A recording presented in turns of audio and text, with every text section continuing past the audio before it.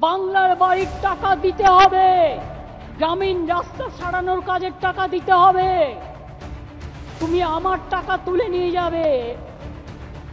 আর আমাকে টাকা দেবে না। এটা তো হয় না। কেন্দ্র টাকা দেয় না। কেন্দ্র দেশ বেচে দিচ্ছে কেন্দ্র জনগণের খেয়াল রাখতে পারে না। আরও কত কি যে বলে কেন্দ্রকে অপমান করেন আমাদের মুখ্যমন্ত্রী, তার কারও জানতে বাকি নেই। কিন্তু মমতাময় তথ্য যে অন্য কথা বলছে শিক্ষা থেকে স্বাস্থ্য, আবাস থেকে পরিকাঠামো সব ক্ষেত্রেই বাংলাকে উজাড় করে দিয়েছে মোদী সরকার। মোদী সরকারের আমলে বাংলার জন্য পঞ্চাশ বছরের সুদ মুক্ত ঋণের পরিমাণ বেড়েছে উল্লেখযোগ্য হারে। দু কুড়ি থেকে দু হাজার একুশ অর্থবর্ষে এই ঋণের পরিমাণ ছিল ছশো তিরিশ কোটি টাকা। দু হাজার তেইশ চব্বিশ সালে তা বেড়ে হয়েছে এক হাজার পনেরো কোটি টাকারও বেশি। দ্বাদশতম অর্থ কমিশনে বাংলা কর বাবদ পেয়েছিল তিরিশ শতাংশেরও বেশি টাকা। যা পঞ্চদশ অর্থ কমিশনে বেড়ে হয়েছে চল্লিশ শতাংশে।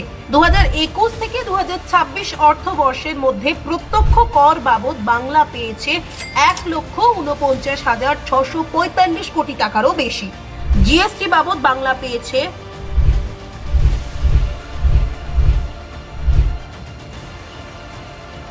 এখানেই শেষ নয়। কেন্দ্র বাংলাকে কি পরিমাণ অনুদান সহ ঋণ দিয়েছে তাও দেখে নিন একবার।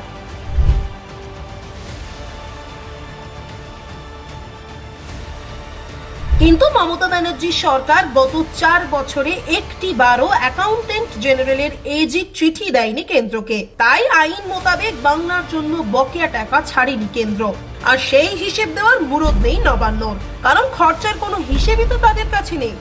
এত কিছুর গুচ্ছ জালিয়াতির পরও মাননীয়া বলে চলেছেন বাংলাকে বঞ্চিত করেছে কেন্দ্র।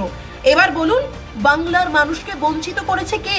মমতা সরকারের দুর্নীতির জেরে অতিষ্ঠ বাংলার সাধারণ মানুষ। আর এদিকে নিজের ভোট প্রচারের জন্য কেন্দ্রীয় সরকারকে অপমান করছেন রাজ্যের মাননীয়া। তাই আগে সঠিক তথ্য জানুন, তারপর বিচার করুন। মমতার মিথ্যে বিরোধিতার পর্দা ফাঁস করতে ভিডিওটি শেয়ার করুন।